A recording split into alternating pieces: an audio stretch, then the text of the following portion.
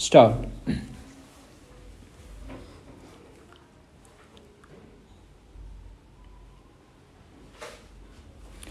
Global climate change is the long term shift in weather patterns globally.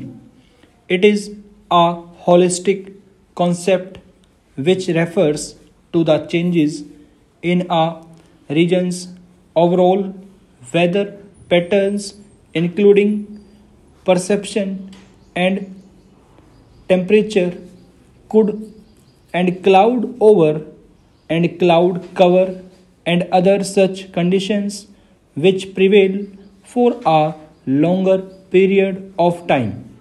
The concept emphasizes on the change in Earth's average temperature. Weather includes the short term changes witnessed in a region's temperature, humidity, clouds, and precipitation, etc. The weather may vary from one day to another and morning to evening.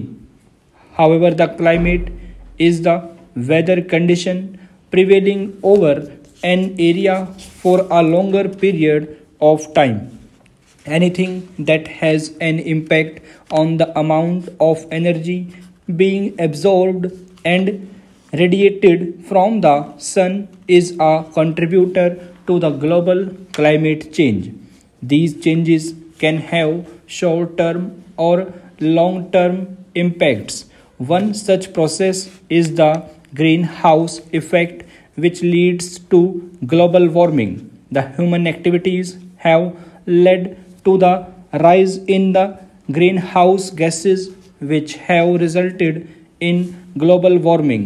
The greenhouse gases include the carbon dioxide, methane, nitrous oxide, and fluoride gases.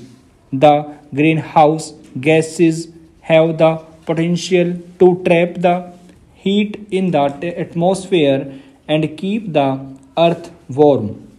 They capture the infrared radiations released by the surface of earth and make the atmosphere warmer. The impact of the greenhouse gases is circulated through the water vapor in our atmosphere a fact states that without the greenhouse gases the earth world and would have been a frozen planet so the concern is not the presence of greenhouse gases but the human activities which are contributing to the rise of the same.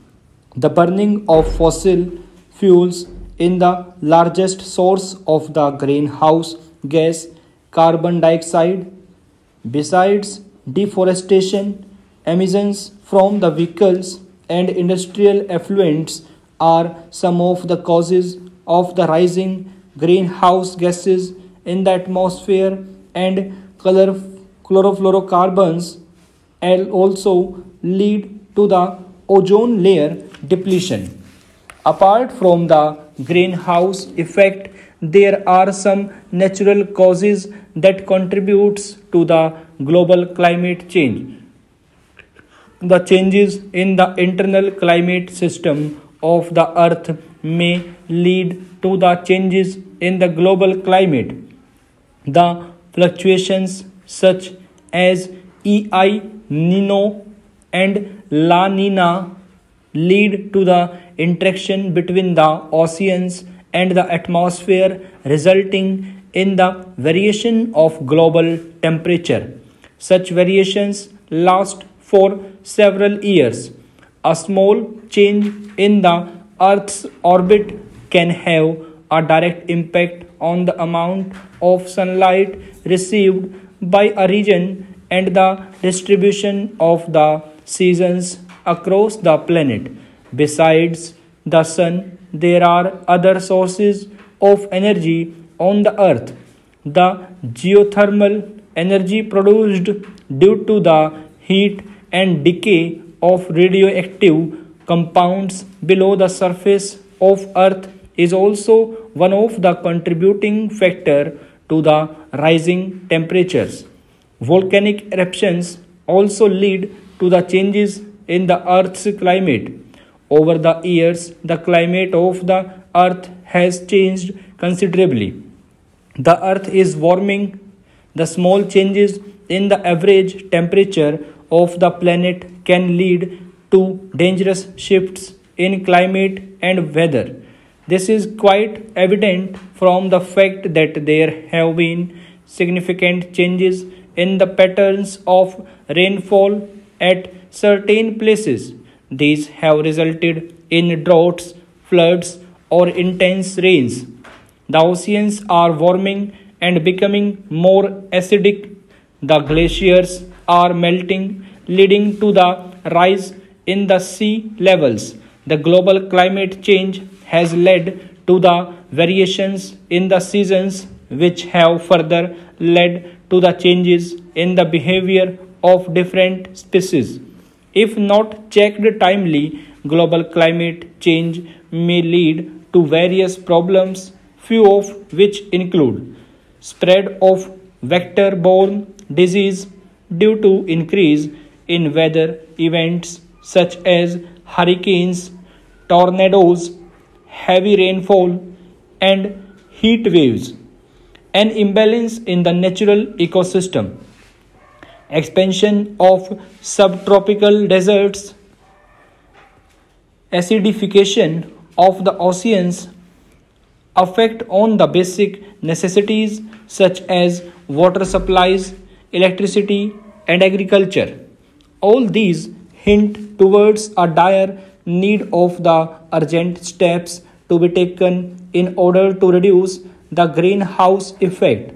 People can make a difference by changing their everyday habits and lifestyle. The problem of global warming can be controlled by minimizing the emission of greenhouse gases into the environment. The practice of deforestation needs to be strongly discouraged. Instead, the focus should be on the plantation of more trees and plants. The trees and plants absorb the carbon dioxide present in the atmosphere.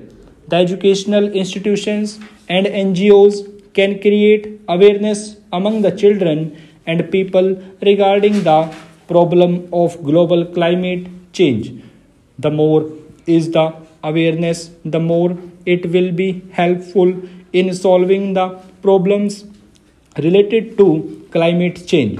Our government has a very important role to play in rectifying the problem. The governments can provide special concessions and rebates on the use of clean fuels. The focus of the countries should be to reduce their carbon footprints that is the amount of carbon dioxide released in the atmosphere. The recently released ranking of countries by climate change performance index points towards the position of different countries regarding their efforts towards dealing with the global climate change.